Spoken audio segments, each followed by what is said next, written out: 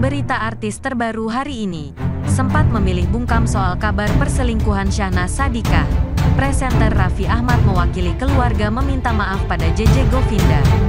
Kabar perselingkuhan Syahnas dengan Randy Kejairnet tengah menjadi perbincangan publik akhir-akhir ini. Sempat memilih bungkam Raffi Ahmad. Kakak kandung Syahnas pun kini berkomentar soal perselingkuhan adiknya itu. Raffi Ahmad diketahui mewakili keluarganya meminta maaf kepada suami Syahnas, JJ Govinda. Gue juga sebagai kakaknya istri lu.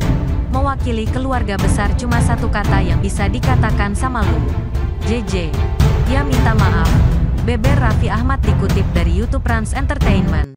Minggu, tanggal 6 Agustus tahun 2023. Raffi Ahmad mengaku paham betul dengan apa yang dirasakan adik iparnya itu. Suami Nagita Slavina itu menyebut apa yang dialami JJ Govinda saat ini tidaklah mudah.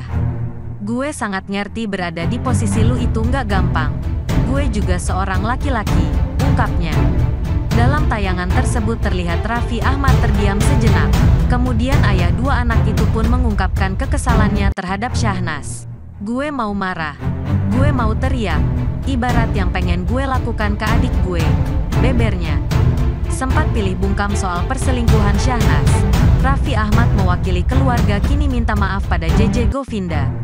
Tak ada kata lain yang diucapkan oleh Raffi Ahmad pada JJ Govinda selain kata maaf. Maaf gue cuma minta maaf dari hati gue yang terdalam, ujarnya. Demikian info yang dapat kami sampaikan.